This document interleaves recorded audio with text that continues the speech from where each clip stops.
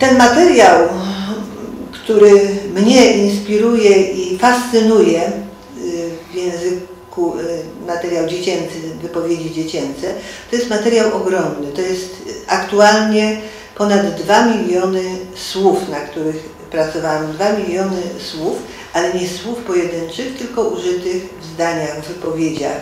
I to stanowiło podstawę Y, właśnie tego ciepłego, świeżo wydanego słownika Słownictwo dzieci w wieku przedszkolnym w latach 2010-2015, w którym to słowniku przedstawiłam mm, słownictwo dzieci i to w ujęciu frekwencyjnym. Jak często dzieci używają określonych, konkretnych y, słów. Na podstawie mm, tych obliczeń czy tych zestawień można e, czynić, czy interesować się, czy prowadzić obserwacje na różne sposoby. Mogą obserw znaczy te obserwacje prowadzić nie tylko językoznawcy, tak jak w moim przypadku, ale i psychologowie, i socjologowie, y, logopedzi, Y, i ci, którzy przygotowują podręczniki, nawet dla najmłodszych klas, czyli klas tego nauczania początkowego dla najmłodszych klas szkoły podstawowej, a nawet y, pisarze, z jakim słownictwem dziecko już jest obeznane, o jakie słownictwo należy y, poszerzać. Tu wspomniałam słowo tolerancyjny. Gdybyśmy zapytali jakiekolwiek dziecko właśnie w tym wieku przedszkolnym, co to znaczy słowo tolerancyjny, nie wiem, czy potrafiłoby zdefiniować, ale z tekstu, y, z którego to wydobyłam słowo, to dziecko y, wprost mówi, jestem bardzo tolerancyjna. Na moje pytanie, co to znaczy tolerancyjny, dziecko doskonale potrafi po swojemu oczywiście y, powiedzieć, że jest, że nikim nie gardzi, że no, tu jest cała definicja dziecięca, taka właśnie dziecięca.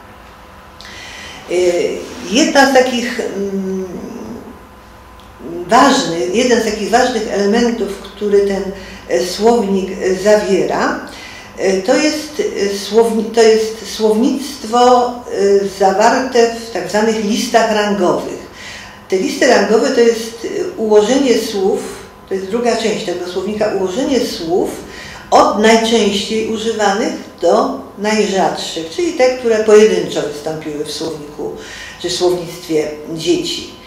I okazuje się, to już od dawna wiadomo, ale e, dla zainteresowanych jest to chyba bardzo e, ciekawa obserwacja, że na pierwszych miejscach wśród dziesięciu najczęstszych słów są słowa, których my tak na co dzień nie słyszymy, nie dostrzegamy, ale bez których to słów żadna nasza wypowiedź nie byłaby poprawna. Są to przyimki i spójniki. To jest pierwszych dziesięć słów, to jest i, wy, na. Gdyby nie było tych wyrazów zwanych gramatycznych, nie byłoby żadnej wypowiedzi poprawnej. To jest jedna taka uwaga. To jest pierwszych dziesięć słów, to są te wyrazy tak zwane gramatyczne. To są wyrazy bardzo krótkie. Ale wśród tych dziesięciu najważniejszych słów jest słowo ja. I na to bym chciała zwrócić uwagę, mianowicie yy, zaimek ja u dzieci współczesnych yy, wystąpił ponad 3000, dokładnie 3165 razy. U dzieci sprzed 30 lat był on rzadszy. Też był w pierwszej dziesiątce, ale wystąpił 2,5 tysiąca. To znaczy co?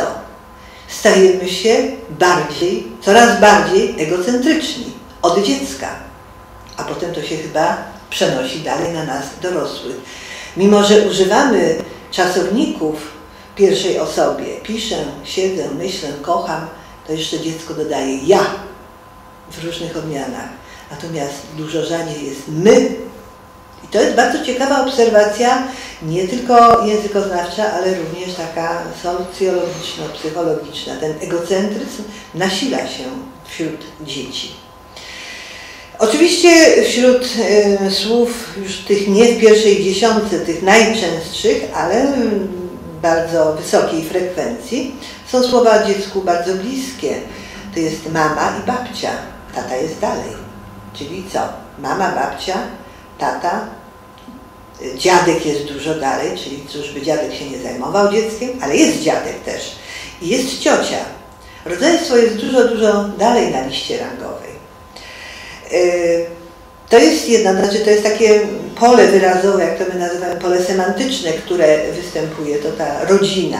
Są zabawki, nazwy, nazwy zabawek. No tu nie chciałabym rozdrabniać się, bo na ten temat mogłabym dużo powiedzieć, ale chciałabym jeszcze na jedną tu rzecz zwrócić uwagę, mianowicie y, po wypowiedziach dziecięcych i po słownictwie dzieci można określić i powiedzieć, y, gdzie te dzieci mieszkają, jaki jest ich świat, ten najbliższy, najbliższe otoczenie.